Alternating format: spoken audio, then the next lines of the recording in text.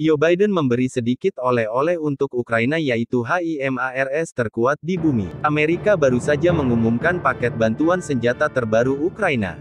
Hal itu sebagaimana diinformasikan portal The Drive pada tanggal 4 Oktober tahun 2022.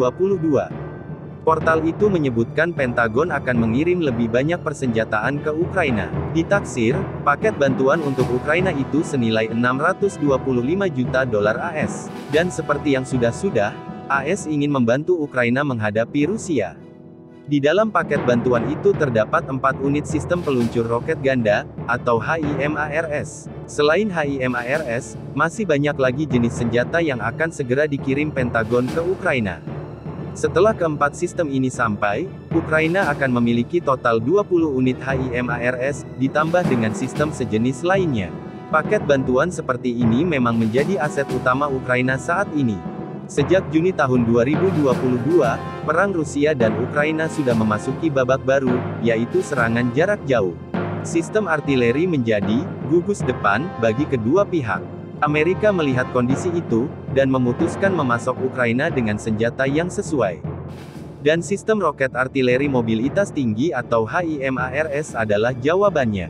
Mengutip The Drive, HIMARS akan membantu Ukraina mempertahankan momentum di timur dan selatan. Sistem ini membantu Ukraina mengalahkan Rusia yang signifikan di wilayah Kherson.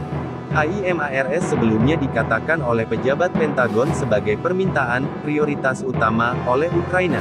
Wakil Menteri Pertahanan untuk Kebijakan AS, Colin Kal, turut memberikan keterangannya. Dia mengatakan kepada wartawan bahwa HIMARS memungkinkan pasukan Ukraina untuk menyerang target dengan jangkauan dan presisi yang lebih besar, bahkan, dikatakan bila HIMARS lebih mumpuni daripada senjata artileri lain yang dikirim.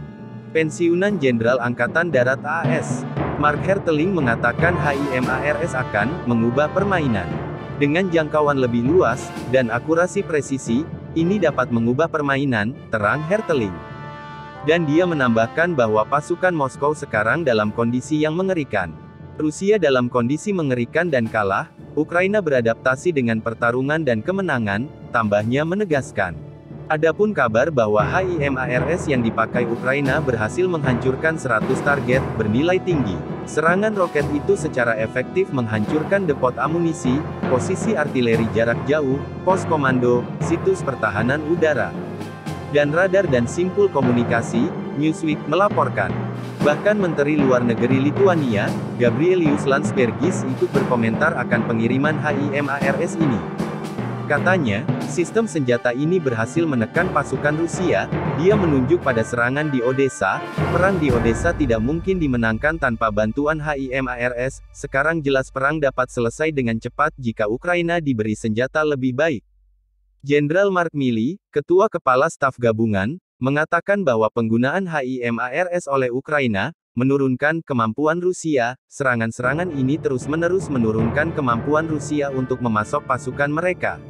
Komando dan kontrol pasukan mereka, dan melakukan perang agresi ilegal mereka, AS telah memberi Ukraina miliaran dolar bantuan militer dan kemanusiaan untuk mempertahankan diri dari agresi Moskow. HIMARS Ukraina dilaporkan dengan menghancurkan gudang amunisi Rusia di Chornobaivka dan Bilohirka di wilayah Kherson. Jumat tanggal 29 Juli tahun 2022, roket HIMARS memberikan serangan tepat ke gudang amunisi di dekat desa Brilivka. Alasan HIMARS begitu efektif di sana, karena kepintaran Ukraina dalam menggunakannya. Seorang pakar militer, Ryan Macbeth mengatakan sebabnya.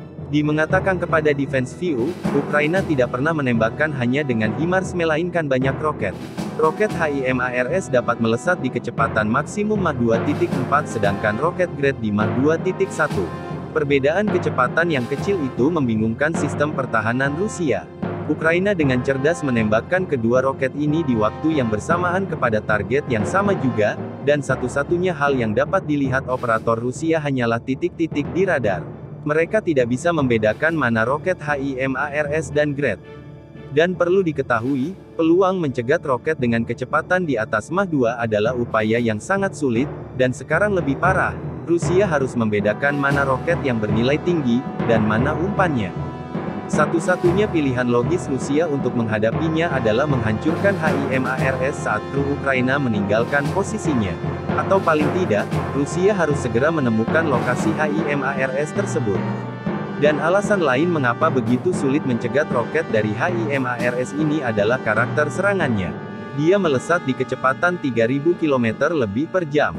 Jika mencapai target sejauh 80 km, HIMARS hanya membutuhkan sekitar 94 detik sebelum mengenai sasaran, lalu, roket ini terbang pada ketinggian yang jauh lebih rendah daripada rudal jelajah atau balistik mana pun. Memberikan sedikit sekali waktu bagi Rusia untuk bersiap-siap mencegatnya.